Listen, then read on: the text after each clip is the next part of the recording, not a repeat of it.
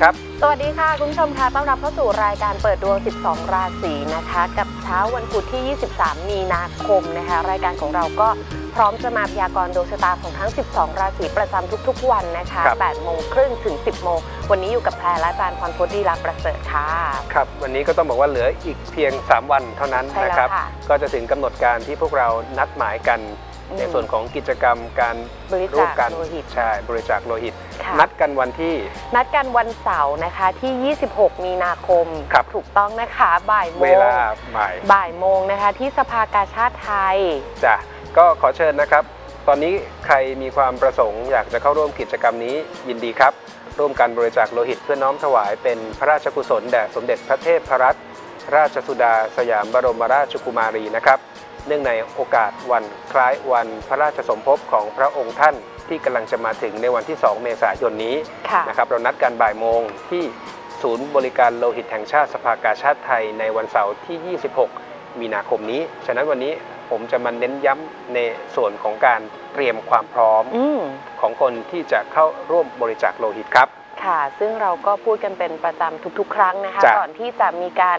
จัดกิจกรรมขึ้น เพราะว่าทุกคนจะได้เตรียมตัวนะคะไหนๆเราไปกันถึงที่แล้วเราจะได้ใช่ต้องเรียกว่าได้บริจาคโลหิตกันครบถ้วนทุกคนครับนะคะบางคนน่าเสียดายบางทีแบบไม่ได้นอนหลับพักผ่อน อย่างเพียงพอเวลาไปตรวจเช็คเบื้องต้นเนี่ยก็ไม่สามารถที่จะบริจาคโลหิตได้ ฉะนั้นหนึ่งเลยนะครับสองถึงสามวันก่อนวันบริจาคช่วงนี้พยายามดูแลตัวเอง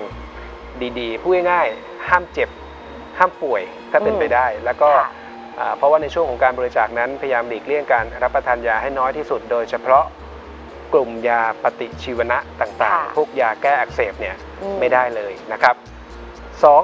ในแง่ของการนอนหลับพักผ่อนล่ะค่ะก็ต้องนอนหลับอย่างน้อยนะคะ6ถึง8ชั่วโมงนะคะจ้ะก็เข้านอนไวหน่อยครับนะคะ แต่ครั้งนี้เราบริจาคบ่ายจ้ะนะก็อาจจะไม่ค่อยน่าเป็นห่วงเท่าไหร่ในใช่เรื่องครับของเวลานอนนะคะ ก็อย่างน้อยอะซัดมาให้เต็มๆฮะนะอืมเจ็ดถึงแปดชั่วโมงพยายามหลับให้สนิทแล้วก็ค่ะ 1 วันฮะ24 ชั่วโมงก่อนอืมวันบริจาคนั้นสำหรับใครที่เป็นอ่าอาจจะมีปาร์ตี้สังสรรค์บ้างนะค่ะ ก็ขอความกรุณาครับ 1 วันก่อนบริจาคขอให้งดเครื่องดองของเมามเครื่องดื่มที่มีแอลกอฮอล์ทุกประเภทครับ ค่ะ แล้วก็รวมถึงการสูบบุหรี่ด้วยนะคะสำหรับผู้ที่สูบบุหรี่เป็นประจำนะคะ จ้ะ ก็ควรจะงด ก่อนและหลังการบริจาคโลหิตอย่างน้อยนะคะ 1 ชั่วโมงด้วยกัน และตอนเช้านะคะ ก็ควรจะรับประทานอาหารมาด้วย ครับ ครบ2มื้ออ่าสองมื้อนะฮะ เราบริจาคบ่ายโมงต้องครบทั้งมื้อเช้ากลางวันและมื้อกลางวันและสิ่งสำคัญนะอย่างบุหรี่เนี่ยที่ขอให้งด เพราะจะทำให้การฟอกโลหิตเนี่ยดีมีประสิทธิภาพเหมือนกันฮะอาหารสองมื้อที่เราจะอืมรับประทานขอให้หลีกเลี่ยง กลุ่มอาหารที่มีความมันค่ะ เพราะมันจะทำให้พลาสมาเนี่ยเป็นสีขาวขุ่นไม่สามารถนำไปใช้ประโยชน์ได้เต็มที่ค่ะอันนี้คือหลักการเบื้องต้นสำหรับอืมการดูแลตัวเองก่อนที่จะไปบริจาคโลหิตกันในวันเสาร์ที่ 26 นี้ที่สภากาชาติไทยครับแล้วก็ไปถึงแล้วเขาก็จะมีบริการน้ำดื่มนะคะ ก็แนะนำว่าให้เอ่อแฟนใช่ๆแล้วรายการที่ไปเนี่ย ไปกดน้ำดื่มครับเยอะๆหน่อยนะคะ ก็3-4แก้วจ้ะเนาะจะได้ทำให้โลหิตเนี่ยมันมันโฟลว์ฮะเวลาบริจาครวมถึงก็ป้องกันการอาการวิงเวียนหน้ามืด หลังค่ะจากการบริจาคโลหิตได้ด้วยครับ ก็ดูแลสุขภาพเตรียมความพร้อมให้สมบูรณ์แข็งแรงนะครัคะ บแล้วก็มาเจอกันในวันเสาร์ที่จะถึงนี้อีกเพียงแค่สองสามวันจ้ะ นะคะ เดี๋ยวเราก็จะพบกันแล้วสำหรับคุณผู้ชมที่ได้ลงทะเบียนไว้ ครับ แล้วก็ท่านอื่นจ้ะ นะคะก็ยังสามารถติดต่อสอบถามข้อมูลนะคะเพื่อมาร่วมกิจกรรมกันได้อยู่ยังลงทะเบียนกันได้นะคะ ที่หมายเลขโทรศัพท์นะคะ 085 129 3697 นะคะ และอีกหนึ่งเบอร์ค่ะ 083 199 7972 นะคะจ้ะอันนี้คือในส่วนของวันเสาร์ช่วงบ่าย ค่ะ ช่วงเช้าก็มีข่าวประชาสัมพันธ์ครับ อืม ช่วงเช้าวันเสาร์ที่ 26 เกี่ยวข้องกับกิจกรรมของทางสมาคมโหนแห่งประเทศไทยในค่ะ พระบรมราชินูปถัมภ์นำโดยท่านอาจารย์ศิวนาถฤชุพันธ์นายกสมาคมที่เห็นในภาพอะนะครับ ก็เชิญชวนครับ ลูกศิษย์ลูกหาทุกรุ่นที่ผ่านการอบรมวิชาโหราศาสตร์จากทางสมาคมนะครับ ไม่ว่าจะเรียนจบไปแล้ว เป็นหมอดูอาชีพนะจะนานสักกี่ปีกันแล้วแต่ หรือจะเป็นหมอดูมือใหม่ ที่เพิ่งสำเร็จการศึกษาก็เชิญชวนครับ เข้าร่วมพิธีงานไหว้ครู และการมอบวุฒิบัตรอืมประจำปี 2559 ครับ ค่ะ ก็วันเดียวกับบริจาคโลหิตนะคะ คือจ้ะวันเสาร์ตั้งแต่ 7 โมงเป็นต้นไปนะคะ ที่หอประชุมเทศบาลตำบลปลายบางอืมถนนการจนาพิเศษกนี่แหละครับค่ะจังหวัดนนทบุรีสังเกตง่ายๆ ก็คืออยู่ตรงกันข้ามฝั่งถนนอ่า ตรงกันข้ามกับทางอ่าสำนักงานใหญ่ของทางสมาคมที่ซอยวัดส้มเกลี้ยง หาไม่ยากครับ เข้าไปทางโรงเรียนเทพศิรินทร์นะอยู่บนถนนกาญจนาพิเศษกก็เชิญชวนทุกท่านที่สนใจนะครับ ช่วงเช้าก็จะเป็นในส่วนของพิธีไหว้ครูนะครับค่ะแล้วก็ช่วงบ่ายเนี่ยจะมีการมอบพุทธิบัตรให้กับอืมผู้ที่สำเร็จการศึกษา ซึ่งพูดอยู่เสมอว่าใครที่มาเรียนที่นี่เนี่ยจะเคี่ยวจนแน่ใจว่าคุณรู้จริง ใครสอบไม่ผ่านให้เรียนใหม่ค่ะนะครับจน จนแน่ใจว่าทุกคนสามารถลงสนามพยากรณ์ ให้คำปรึกษากับคนที่เขากำลังไม่สบายใจมีทุกข์ร้อนช่วงบ่ายนะครับหลังจากมอบวุฒิบัตรแล้วก็จะมีในส่วนของการครอบครู โดยค่ะครูบาอาจารย์ในแต่ละสาขาวิชาที่อบรมให้กับลูกศิษย์ลูกหา สนใจสอบถามรายละเอียดได้ครับ ค่ะที่เบอร์โทรศัพท์นะคะ 089 150 9909 นะคะ และ 096 104 5299 นะคะ ซึ่งครับเวลาที่ทางสมาคมได้มีการเปิดคอร์สเรียนนะคะ อาจารย์พรพจน์ก็จะนำมาประชาสัมพันธ์ให้กับแฟนๆ รายการอยู่เสมอจ้ะนะคะ ก็เชิญชวนนะคะ เวลาที่มีคนที่สนใจในเรื่องของโหราศาสตร์นะครัคะบแล้วก็มีหลายสาขามากอย่างที่อาจารย์บอกนะคะจ้ะเวลาที่มีเปิดรับสมัครก็ไปลองเรียนรู้ได้ว่าเราชอบหรือไม่ หรืออย่างพรุ่งนี้ถ้าใครสนใจในแง่ของเนื้อหาการเรียนการสอนนะไปได้นะ เพราะอาจารย์อยู่กันครบเลยนะคะครับ ก็เชิญชวนเนาะวันที่จ้ะเสาร์ที่ 16 เราก็มีถึง 2 กิจกรรมด้วยกันนะครัคะบเอาละค่ะ วันนี้นะคะพูดคุยสายสดนะคะ ที่หมายเลขโทรศัพท์ 024960493 และ 024960494 นะคะ SMS ก็พิมพ์ PD ค่ะ ตามด้วยวันเดือนปีเกิดเวลาเกิด แล้วก็ข้อความที่ต้องการจะถาม ถามลัคนาราศีระบุจังหวัดมาด้วยนะคะ ส่งมาที่หมายเลข 4221606 นะคะ ช่วงนี้พร้อมแล้วไปฟังคำยากรณ์ของทั้ง 12 ราศีประจำวันนี้กันเลยค่ะ พุธที่ 23 มีนาคม 2559 ครับ จันทรคติการแรม 1 ค่ำเดือน 4 ปีมะแม พายัพหรือตะวันตกเฉียงเหนือ คือทิศที่เป็นสิริมงคลครับ ส่วนทิศที่ควรจะหลีกเลี่ยงวันนี้คืออาคเนย์หรือตะวันออกเฉียงใต้ และทิศที่จะมีคนให้การอุปถัมภ์ครับ วันนี้คือทิศบูรพาหรือว่าทิศตะวันออกนั่นเอง เปิดหัวด้วยชาวราศีมังกรเหมือนเช่นเคยครับ 16 มกราคมถึง 12 กุมภาพันธ์ วันนี้คำว่าเครดิตสำคัญมากทำอะไรก็แล้วแต่เนี่ยอย่าโลเล ต้องมีจุดยืนและหลักการที่ชัดเจน โดยเฉพาะคนที่เป็นนายคน การเงินคนที่มีปัญหาวันนี้อดทนนะครับ คิดขยับขยายก็ต้องรอ เพราะเกณฑ์การเงินวันนี้ไม่สู้ดี แต่ความรักความสัมพันธ์ไม่มีปัญหาอะไรมากครับ และสีที่ถูกโฉลกค่ะ วันนี้เสริมให้มีความหนักแน่นกับสีบรอนทอง ส่วนสีที่ควรจะหลีกเลี่ยงคือสีน้ำตาล ต่อกันด้วยชาวราศีกุมค่ะ 13 กุมภาพันธ์ถึง 13 มีนาคมการปรับตัวนั้นสำคัญที่สุด ถ้าเปลี่ยนดีก็ให้เดินหน้าครับ แต่ถ้าไม่เข้าท่าก็ต้องมีมาตรการในการรองรับ การเงินเหมาะสำหรับการเรียนรู้การเจรจาต่อรอง หรือแม้กระทั่งการขอความรู้ขอความช่วยเหลือทำได้หมด ความรักก่อนจะพูดหรือแสดงกิริยาอะไรออกไปต้องชั่งใจนะครับเพ ราะวันนี้ดูเหมือนทั้งคนรักและตัวคุณนั้นมีจุดต่ำกว่า จุดเดือดต่ำกว่าที่เคย และสีที่ถูกโฉลกค่ะ วันนี้อ่าหาคนช่วยขอความร่วมมือขอความช่วยเหลือนะครับ หาคนอุปถัมภ์กับสีม่วง ส่วนสีที่ควรจะหลีกเลี่ยงคือสีชมพู ต่อกันด้วยชาวราศีมีนค่ะ 14 มีนาคมถึง 12 เมษายนครับเหนื่อยกายไม่เป็นไรนะวันนี้อาจจะต้องเดินทางฉีดประจรลงเท้า หรือต้องรับผิดชอบงานที่มีความยากลำบาก ผมอยากให้มองเป็นในเรื่องของความท้าทาย เพราะวันนี้เกณฑ์ในเรื่องของงานแนวโน้มถือว่าดีนะครับ สภาพคล่องโดยรวมยังไม่ได้รับผลกระทบ คนที่ทำธุรกรรมลงทุนลงแรงอะไรไว้ก่อนหน้าก็เริ่มที่จะเก็บเกี่ยวดอกผล แต่ความรักไม่ว่าเขาหา หรือคนที่กำลังมีปัญหา ใจเย็นๆฮะค่อยๆปล่อยให้ทุกอย่างเดินไปตามธรรมชาติ และสีที่ถูกโฉลกค่ะ แต่ผมให้ความสำคัญกับเรื่องของงานเหนื่อยกายแต่ไม่เหนื่อยใจ ยิ่งขวนขวาย ยิ่งจะได้ประโยชน์ สีกลมท่าส่วนสีที่ควรจะหลีกเลี่ยงคือสีเขียว ต่อไปชาวราศีเมษค่ะ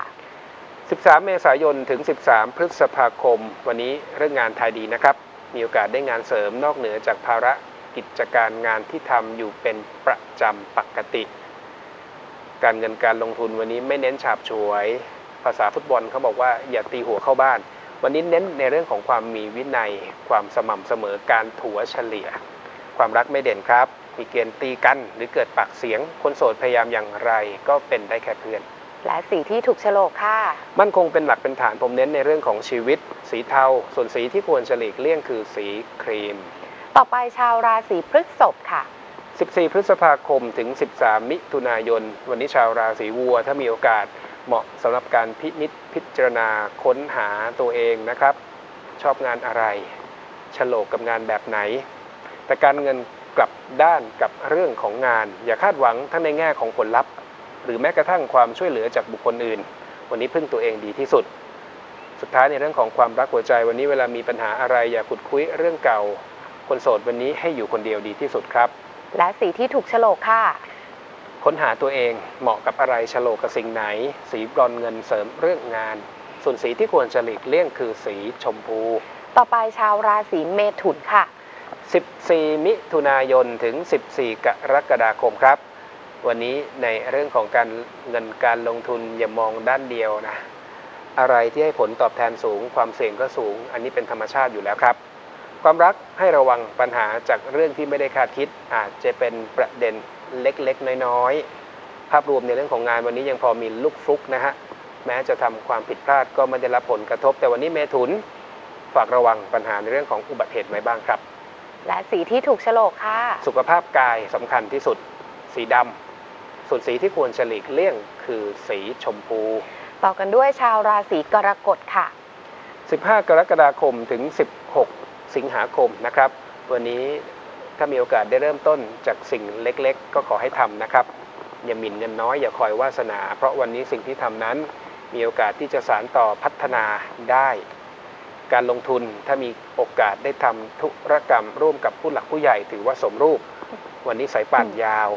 ความรักเป็นอีกหนึ่งราศีครับ ที่เหมาะกับการอยู่คนเดียว ส่วนคนมีคู่วันนี้ควรมีระยะห่างให้กันบ้าง สีที่ถูกโฉลกค่ะ เริ่มต้นจากจุดเล็กๆทำนะครับ กระตือรือร้นกับสีเทา ส่วนสีที่ควรจะหลีกเลี่ยงคือสีเขียว ต่อไปชาวราศีสิงค์ค่ะ 17 สิงหาคมถึง 16 กันยายนครับ วันนี้เน้นในเรื่องของอาอาจจะใช้คำว่าฮวงจุ้ยในที่ทำงานก็ได้นะ การทำ5สอก็ได้ ให้มันสะดวกสบายนะครับสำหรับการทำงานมากขึ้นในแง่ของการปรับสภาวะแวดล้อม การเงินเน้นคนที่กำลังคิดเปลี่ยนวิถี วิธีการลงทุน ศึกษาข้อมูลให้แน่ใจก่อนนะครับ ว่าสิ่งใหม่ที่เรากำลังจะก้าวเดินต่อไปนั้น มันดีกว่าสิ่งเดิมหรือไม่ ความรักคนที่กำลังเริ่มต้นอย่าเพิ่งเปิดตัวนะครับ วันนี้ระวังจะมีคนกีดกัน และสีที่ถูกโฉลกค่ะ หลักทรัพย์เงินทองกับสีเขียว ส่วนสีที่ควรจะหลีกเลี่ยงคือสีแดง ต่อไปชาวราศีกันค่ะ 17 ตุลาเอ่อขออภัยครับ 17 กันยายนถึง 16 ตุลาคม ถึงไม่โดดเด่นแบบก้าวกระโดดในส่วนของการทำงาน แต่วันนี้ก็ต้องบอกว่ามีพัฒนาการในทางที่ดีขึ้น มั่นใจมากขึ้นนะครับ ขอเพียงแค่อย่าเปลี่ยนใจบ่อย การเงินสภาพคล่องไม่มีปัญหาครับ วันนี้หยิบจับอะไรก็มีเกณฑ์ที่จะต่อยอด ความรักอย่าจับปลาสองมือคนที่มีครอบครัวแล้วบริหารเวลาให้ดีครับ สีที่ถูกโฉลกค่ะ เน้นเรื่องของชีวิต เสริมไม่มีความมั่นคงเป็นหลักเป็นฐานสีฟ้าส่วนสีที่ควรจะหลีกเลี่ยงคือสีเขียว ต่อกันด้วยชาวราศีตุลค่ะ 17 ตุลาคมถึง 15 พฤศจิกายนครับ วันนี้ในเรื่องของการทำงานมองไกลๆหน่อยนะครับ เน้นการวางแผนระยะยาวเป็นหลัก การเงินการลงทุนวันนี้ถ้ามีโอกาสได้เข้าหุ้น ร่วมลงทุนกับคนที่คุ้นเคย ถือว่าดี หน้าใหม่ไม่เอา ความรักคนที่มีคู่ระวังทำในสิ่งที่ผิดนะครับ ส่วนคนที่คิดอยากจะมีคู่ เต็มที่ก็ได้แค่แอบรักแอบชอบ และสีที่ถูกโฉลกค่ะทำอะไรก็ต้องอาศัยเวลาครับ เสริมในเรื่องของงานกับสีเหลือง ส่วนสีที่ควรจะหลีกเลี่ยงคือสีบรอนซ์ทอง ต่อไปชาวราศีพิจิกค่ะ 16 พฤศจิกายนถึง 15 ธันวาคมครับ วันนี้ในแง่ของงานขายดี คนที่ทำมาค้าขายก็ลูกค้ามีนะครับไม่ขาด คนทำงานก็จะได้รับความไว้เนื้อเชื่อใจมากขึ้น การเงินการลงทุนวันนี้หาก เกิดความผิดพลาดพลาดพลั้งเนี่ยอย่าเพิ่งท้อนะครับ ผมอยากให้ลองมองวิธีการที่เคยมองข้าม ใช้ทรัพยากรที่มีอยู่ให้เกิดประโยชน์ ความรักมั่นคง แข็งแรง มีโอกาสได้ใช้เวลาอยู่ใกล้ชิดกัน และสีที่ถูกโฉลกค่ะ หลักทรัพย์เงินทองสีส้มครับ ส่วนสีที่ควรจะหลีกเลี่ยงคือสีขาว มาปิดท้ายกันที่ชาวราศีธนูค่ะ 16 ธันวาคมถึง 15 มกราคมครับ สิ่งที่ให้ความสำคัญมานานวันนี้จะได้รับสัญญาณที่ดีขึ้นนะครับ ไม่ว่าทำธุรกิจหรือทำงานประจำพูดง่ายๆว่าหายเหนื่อย แต่การลงทุนไม่เด่น จังหวะไม่ได้โอกาสไม่ดี รวมถึงให้ระวังในเรื่องของพวกเงื่อนไขข้อผูกมัด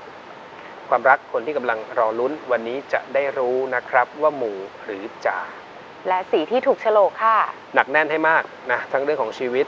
แล้วก็เรื่องของจังหวะจะโคนในส่วนของการลงทุนกับสีครีม ส่วนสีที่ควรจะหลีกเลี่ยงคือสีชมพูครับ ค่ะ นี่ก็เป็นคำพยากรณ์ของทั้ง 12 ราศีประจำวันนี้นะคะ คุณผู้ชมเข้าไปอ่านกันเพิ่มเติมที่ Facebook ของเรานะคะ Miracle Channel TV นะคะแล้วช่วงหน้าเราจะกลับมาพูดคุยกัน สายสดนะคะ ลงทะเบียนที่ 024960493 และ 024960494 นะคะ ส่วน SMS ก็พิมพ์ PD ค่ะ ตามด้วยวันเดือนปีเกิด เวลาเกิดและ ข้อความที่ต้องการจะถามส่งครับมาที่หมายเลข